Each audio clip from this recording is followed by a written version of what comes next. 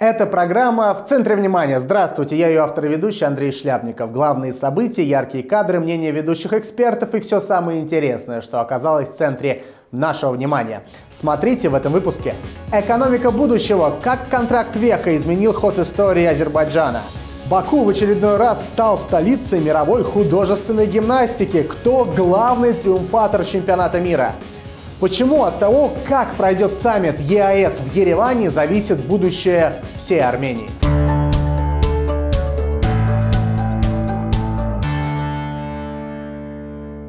На неделе в Азербайджане отметили 25-летие контракта века, который изменил ход истории страны. 20 сентября 1994 года. 11 крупнейших нефтяных компаний из 8 стран мира подписали контракт века о совместной разработке блока морских нефтегазовых месторождений Азари Чирак, Гюнишли в азербайджанском секторе Каспийского моря. Это одна из самых крупных сделок как по количеству углеводородных запасов, так и по общему объему предполагаемых инвестиций за всю мировую историю. Заслуга общенационального лидера Гейдара Алиева. Именно он смог обеспечить максимальное соответствие национальных интересов Азербайджана. Благодаря контракту века в республику хлынули иностранные инвесторы. За истекшее время было подписано более 26 соглашений с 41 нефтяной компании из 19 стран мира. Добыча нефти в стране возросла более чем в 4 раза. Азербайджан добился не только разработки богатых нефтегазовых месторождений и добычи энергоресурсов, но и ввода в эксплуатацию новых маршрутов для их вывода на мировые рынки. Общий объем инвестиций по ним превысил 100 миллиардов долларов, а суммарные инвестиции в Азери, Чирак, Гюнишли составили 36 миллиардов. При этом 80% от чистой прибыли достались Азербайджану.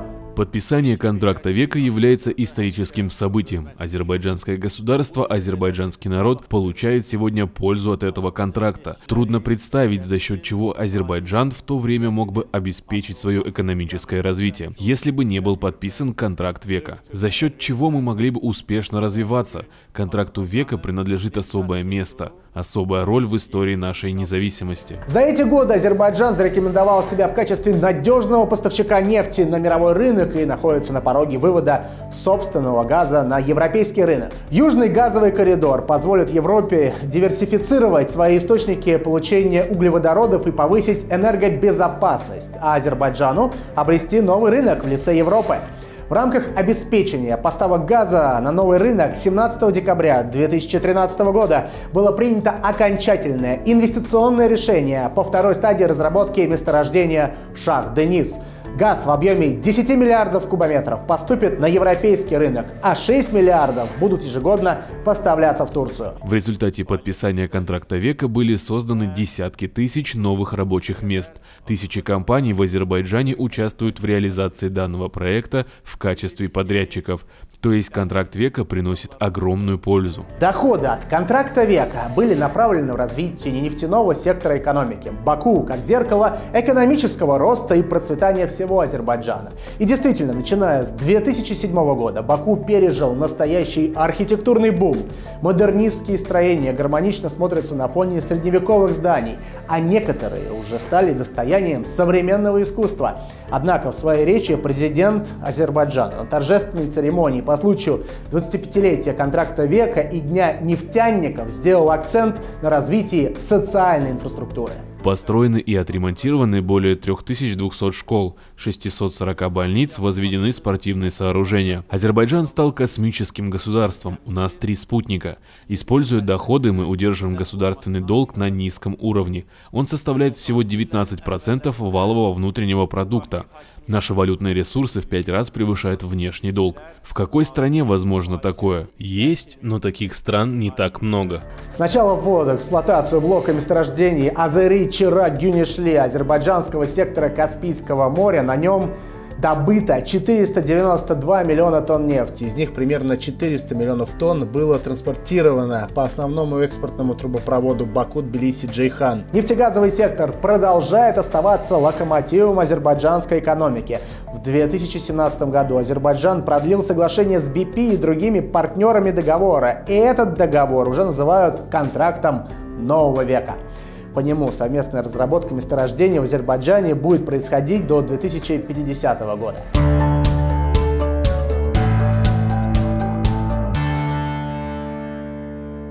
В Баку завершился чемпионат мира по художественной гимнастике. Азербайджан вновь подтвердил, что может успешно проводить спортивные мероприятия на самом высоком уровне.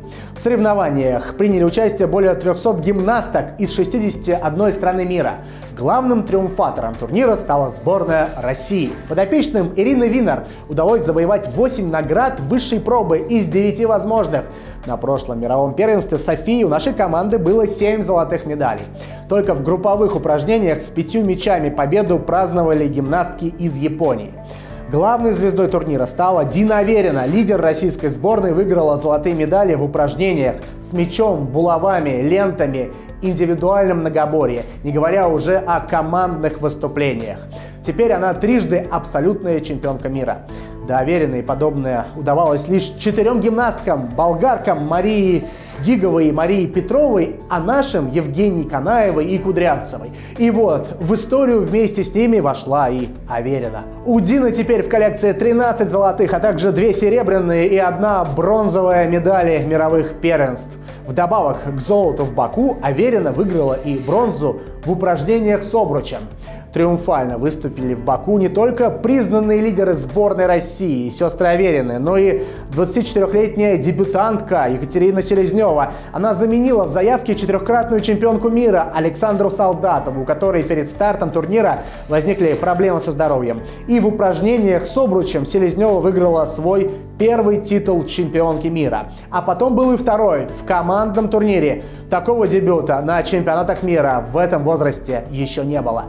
Ну а еще одна прославленная российская гимнастка Алина Кабаева внимательно следила за чемпионатом и в интервью «Москва-Баку» рассказала о своих впечатлениях. Участницы чемпионата не раз выступали на помостках национальной гимнастической арены. Здесь проходили этапы Кубков мира. Совсем недавно состоялся чемпионат Европы. Условия и организация отличные, поэтому ничто не мешает каждой гимнастке показать свой талант в полной мере. Если в России локомотивом развития художественной гимнастики является Ирина Винер-Усманова, то в Азербайджане Азербайджане гимнастика находится под патронатом первого вице-президента Азербайджана Мехрибан Алиевой. В Азербайджане созданы прекрасные условия для развития многих видов спорта, но художественная гимнастика, можно сказать, на особом положении. Она находится под патронатом первой леди Мехрибан Алиевой. И, конечно, это имеет позитивные результаты. Я имею в виду и уровень художественной гимнастики как вида спорта в целом, и инфраструктуру, без которой невозможно этот уровень поддерживать на должной высоте. Баку – один из немногих городов мира, где можно и могут проводить спортивные соревнования по художественной гимнастике мирового уровня. И, конечно же, это заслуга Мехрибан Алиевой. Главной звездочкой азербайджанской команды стала Захра Агамирова. Ей удалось впервые в истории этого вида спорта в Азербайджане завоевать олимпийскую лицензию в Токио. Алина Кабаева отметила успех азербайджанской спортсменки. Что касается азербайджанских гимнасток, то у них без сомнения очень хороший потенциал.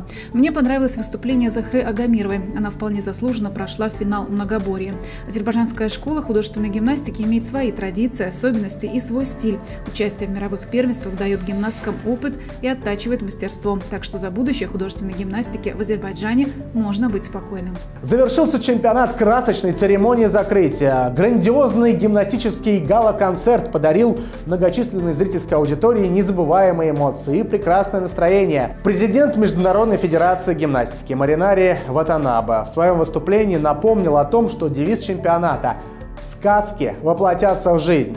Отметил, что после грандиозных соревнований, проходивших в течение недели в Баку, пришло время закрыть эту книгу сказки.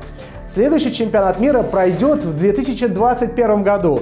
В 2020 турнира не будет из-за Олимпиады в Токио.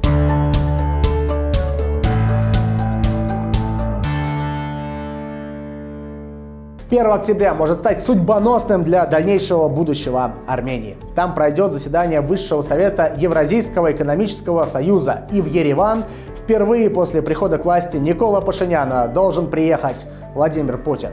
Также в столице Армении ждут президента Молдовы Игоря Дадона, президента Ирана Хасана Раухани и премьер-министра Сингапура Ли Сянь Луна.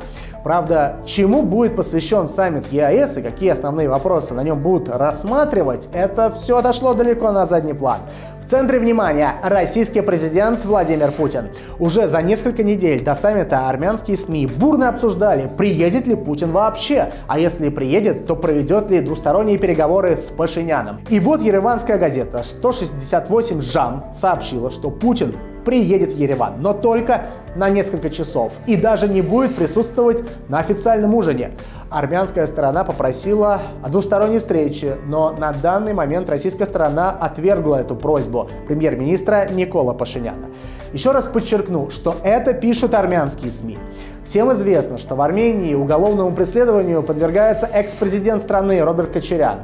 На неделе суд общей юрисдикции в Ереване оставил под арестом бывшего президента Армении.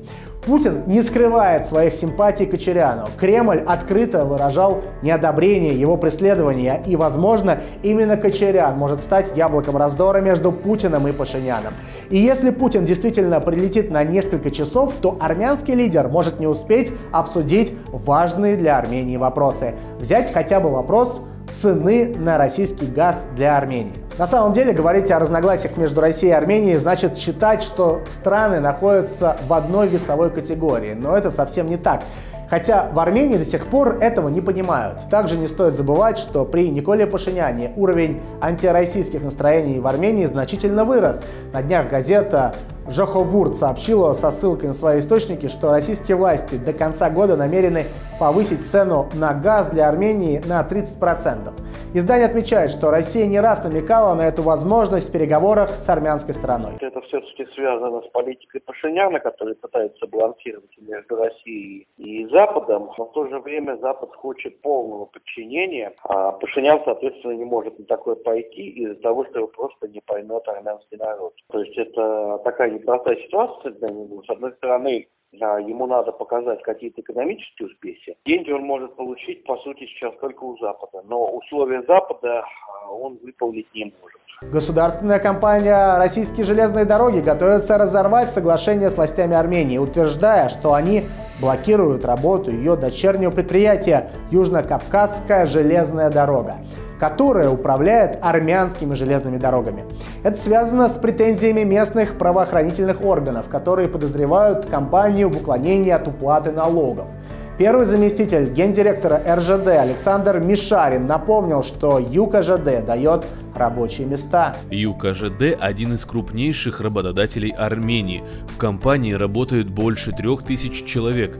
По прогнозу 2019 года планируется перевести 2,9 миллиона тонн грузов, что позволит обеспечить рост на 6,5% по сравнению с показателем 2008 года. Доля железной дороги в структуре грузоперевозок в Армении составляет 23%, а это немало для любого государства. В задачи ЮКЖД входит модернизация модернизация инфраструктуры железных дорог Армении, развитие внутреннего и международного пассажирского и грузового сообщения.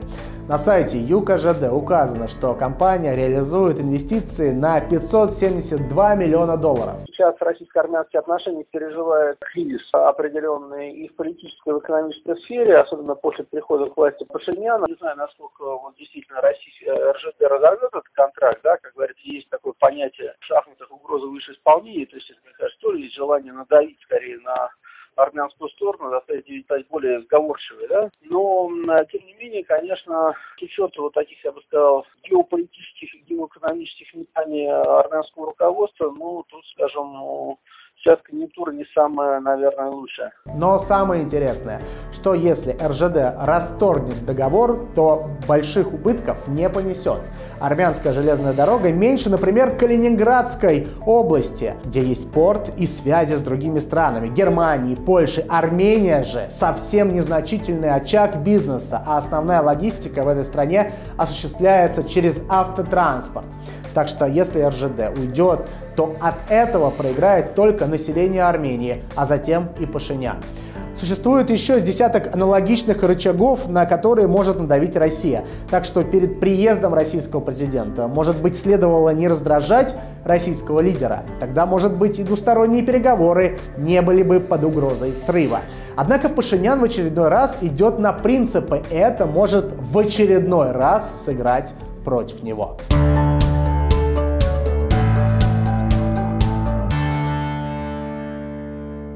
Такие события оказались в центре нашего внимания. Увидимся через неделю. Пока.